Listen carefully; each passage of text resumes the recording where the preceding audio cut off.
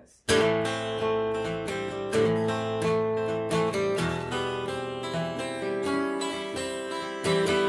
Her name is not crucial. Could be Catherine.